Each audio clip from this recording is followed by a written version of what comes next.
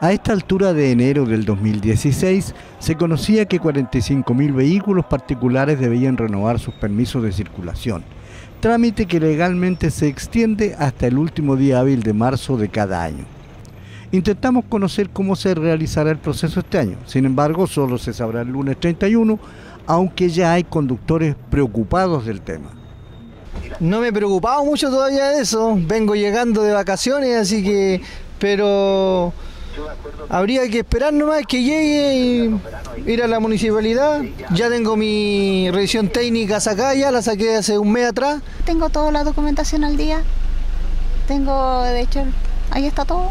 No tengo ningún, no tuve ningún problema con el permiso de circulación, no tuve ningún problema con la revisión técnica, nada.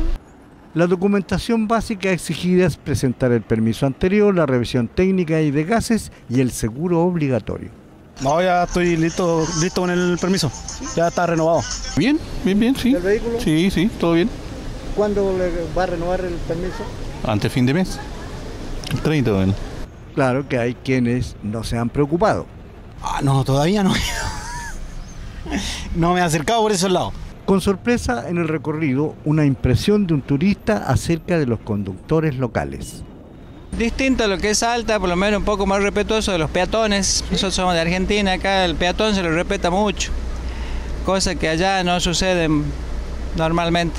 Es bueno recordar que el trámite se puede cumplir por internet y la municipalidad cada año habilita un lugar especial para la renovación masiva de los últimos días.